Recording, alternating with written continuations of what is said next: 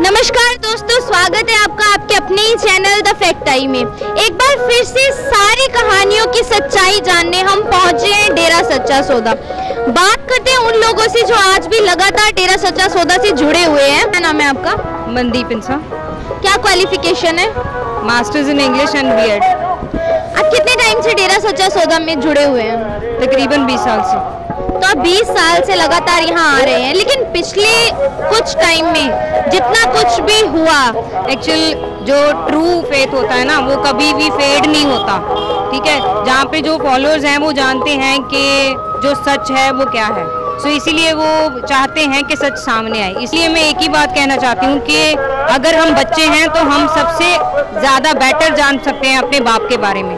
तो we are the followers so that is why we are knowing what is the truth so अगर हमसे कोई दूसरा बंदा आके बोले कि ये है कि ये है तो मैं लॉजिकली विश्वास करूँगी कि मैं जगह से 20 साल से जुड़ी हुई हूँ, जब मैंने कुछ नहीं देखा तो how can I believe on all these kind of rumours cleanliness campaigns जो पिताजी द्वारा चलाए जाते हैं। वहाँ पे आप जाके देख सकते हो कि well educated engineers doctors they are the people who are doing the welfare task on the cleanliness campaign आप देख सकते हो कि बड़े बड़े नालों में वो लोग घुसे होते हैं सेवा करने के लिए। So this is totally we can say rubbish if they are saying pay नहीं किया जाता। उन्हें लॉजिक समझाया जाता है कि जो इंडिया के लिए एक स्लोगन यूज़ किया जाता है डर्टी इंडिया उसे रिमूव करने के लिए हमारे जो सतगुरु हैं, हमारे पिता ये वो इंस्पायर करते हैं लोगों को कि आप आगे आए, अगर आप आके इसमें इनिशिएट करोगे तो और लोग आपको देखकर वो भी इनिशिएट करेंगे। So this is just the way there is not any kind of kind of payment for it without any cost, they are going there and they are doing that cleanliness campaign. Means, आप ये बताओ कि आप लोगों को title दिया गया कि आप अंधभगत हो। अंधभगत नाम देना बहुत गलत बात है। ठीक है? मैं पहले ही बोल चुकी हूँ कि अगर विश्वास का दूसरा नाम पूछा जाए तो वो डेरा सच्चा सौदा है हमारे लिए। क्योंकि आज तक हमें कोई भी गलत बात नहीं सिखाई गई। स्टेज से पिता ने कोई ऐसा वचन नहीं किया।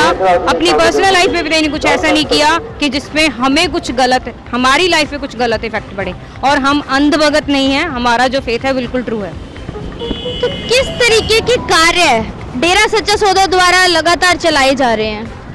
डेरा सच्चा सौदा द्वारा 134 ह्यूमैनिटेरियन वर्क्स चलाए जा रहे हैं, जिसमें कि गरीबों को, जो गरीब हैं, बिल्कुल लाचार हैं, घर बना के देना, ठीक है? उनके लिए फ़ूड बैंक्स ओपन किए गए हैं क्लोथ बैंक्स हैं टॉय बैंक्स हैं ब्लड डोनेशन कैंप्स ऑर्गेनाइज किए जाते हैं, ठीक है? फिर उसके बाद आफ्टर डीमाइज पीपल अपनी बॉडी डोनेट करते हैं ऑर्गन डोनेट किए जाते हैं लीगली उनके विलिंगली वो डोनेट करते हैं। समाज में हमें कोई चेंज लेके आना है तो हमें ऐसे ही